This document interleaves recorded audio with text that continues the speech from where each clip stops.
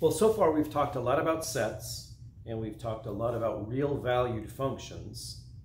In this section, we're going to talk about mathematical induction and recursion.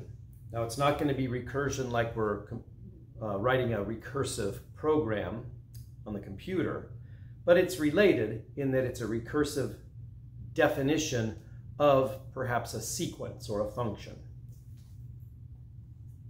Well, the basis of mathematical induction, which is a method for proving an infinite number of propositions or statements, very, very powerful tool.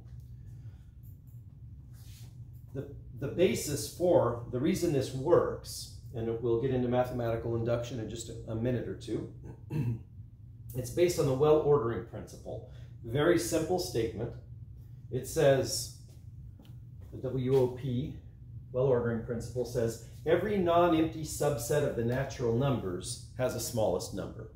It's a pretty simple statement and fairly obvious to us. Another way of saying it, just using symbols, it's just restating this. S, a subset of the natural numbers, and not equal to the empty set, means if S is a, a non-empty subset of the natural numbers, that implies S has a smallest number or a least element.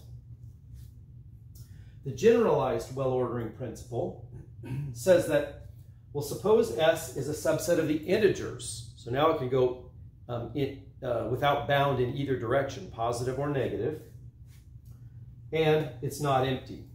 Here's the kicker. If S has a smallest number, then so does every non-empty subset of S. And again, that makes sense. And, and as I mentioned earlier, the well-ordering principle is the basis of mathematical induction, which we'll get to in just a minute.